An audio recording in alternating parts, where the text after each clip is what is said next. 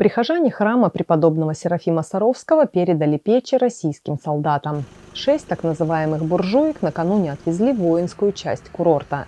Как подчеркнул настоятель храма отец Александр, инициатива была предложена самими анапчанами. Так как э, воины э, подтвердили востребованность этих печей, мы будем продолжать также э, и призываем, ну, кто может откликнуться, кто, кто сам сварит буржуйку, кто пожертвует металл, а кто договорится с кем-то.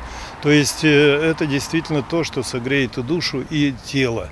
Все для фронта, все для победы. Этот лозунг Великой Отечественной войны наших дедов – Э, и бабушек э, должен стать уже и нашим лозунгом. И поэтому мы поддерживаем горячо тех ребят, которые э, жизнь свою полагают за Отечество, за Россию. Стараемся помочь и улучшить их быт, как-то поддержать материально.